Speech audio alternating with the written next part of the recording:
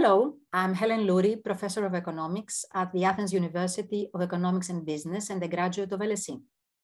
In my long academic career, I had the privilege to visit LSE many times on seminars and lectures. And in the last few years, I had the extra privilege to work at the Hellenic Observatory as a visiting professor there twice.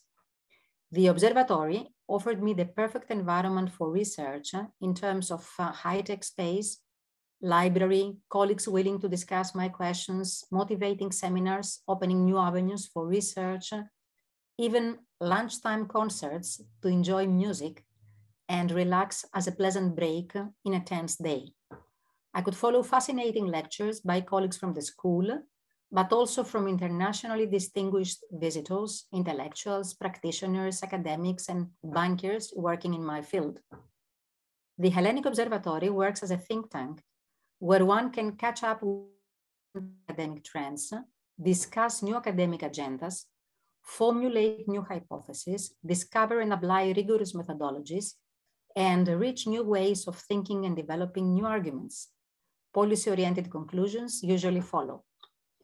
At the end of the visit, after having finished with my research, the discussion paper series offered an ideal first outlet for publication and receiving comments, attracting interest, and further improving my work.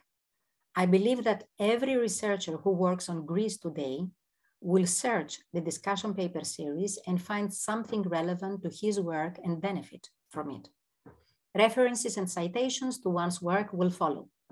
In a nutshell, the Hellenic Observatory at the LSE is the perfect place for academics in Greece to visit, work, explore, learn, benefit, and publish.